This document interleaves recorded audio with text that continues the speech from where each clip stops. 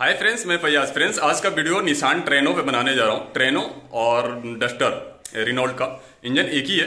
तो इसमें प्रॉब्लम ये आ रहा है कि जैसे हम 3000 या 4000 आरपीएम पे लेकर के जाते हैं गाड़ी को तो 4000 आरपीएम छोड़ने के बाद फिर ये आरपीएम डाउन नहीं होता है. यानी हज़ार आरपीएम ज़ीरो आरपीएम पे नहीं आता है और इसमें आरपीएम कैसे डाउन आता है? जैसे हम एसी ऑफ़ करेंगे, उसके बाद ये तुरंत जो डाउन हो जाएगा आरपीएम अगर एसी ऑफ़ नहीं करते हैं तो ये आरपीएम वैसे ही तीन हज़ार पे आकर के रुका रहेगा. तो मैंने सोचा कि इस पे वीडियो मैं शूट कर लेता हूँ और इस पे यूट्यूब पे वीडियो डालता हूँ, क्योंकि ये किसी के साथ ऐसा हो सकता है और इसका प्रॉब्लम बहुत ही ज़्यादा, बहुत बड़ा प्रॉब्लम नहीं है, छोटा ही प्रॉब्लम है। तो आइए गाड़ी के पास चलते हैं और इसका प्रॉब्लम को शॉर्ट आउट करते हैं। फ्रेंड्स गाड़ी के पास आ गया हूँ और आप देखिए, मैं एक्सीटर ले रहा हूँ। और ये 4000 आरपीएम चला गया और मैंने देखिए, अब पैर हटा लिया एक्सीटर से। और ये देखिए एक्सीटर इसी आरपीएम जो है, यहीं पे रुका हुआ है। ये देखिए। और ये आरपीएम कैसे हुआ? खत्म, ये देखिए। जैसे मैंने एसी ऑफ़ किया, ये देखिए आरपीएम गिर गया। फ्रेंड्स तो पहले स्कैन करके देख लेते हैं कि कोई इसमें फॉल्ट कोड आ रहा कि नहीं आ रहा। तो मैंने स्कैनिंग कर रहा हूँ इसका। बोला, प्लीज़ वेट। तो ये इंजेक्टर है।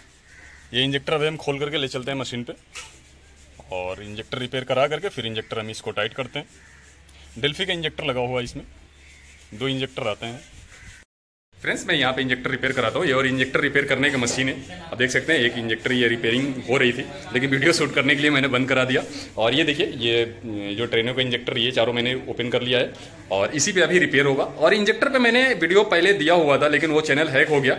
एक इंजेक्टर पे अलग से मैं वीडियो दे दूँगा, क्योंकि फिर बहुत लंबा इंजेक्टर जब रिपेयरिंग होता है तो लंबा वीडियो हो जाता है। कम से कम कुछ नहीं तो पंद्रह मिनट का वीडियो इसमें एक एक चीज़ समझाना पड़ता है कि क्या इंजेक्टर में होता है, क्या कैसे कोडिंग होती है, क्या इसका काम होता है, कितनी फायरिंग होनी चाहिए, कितना रिटर्निंग होना चाहिए, कितना प्रेशर आगे पिस्टन पे आना चाहिए। उस पर मैं एक अलग सा वीडियो बना कर दे दूँगा। और ये इंजेक्टर रिपेयर करा करके मैं इसमें गाड़ी में टाइट करता हूँ। टाइट करने के बाद मैं देखता हूँ कि प्रॉब्लम सॉर्ट आउट होता है या नहीं। फ्रेंड्स अब देखिए गाड़ी के पास आ गया हूँ और गाड़ी स्टार्ट किया। और स्टार्ट करने के बाद अब आरपीएम लेते हैं, जो पहले हम लोग ने अब देखिए मैंने एक्सलेटर पैडल हटा दिया। और ये देखिए आरपीएम अपने आप गिर गया। और इधर देखिए, इस तरफ़ एसी ऑन है। पहले क्या होता था कि जब हम एसी बटन ऑफ़ करते थे, तब इसका आरपीएम नीचे आता था। नहीं तो ये 3000 आरपीएम पे जाकर रुका रहता था। अब ऐसा नहीं है। इंजेक्टर टाइट हो गया चारों।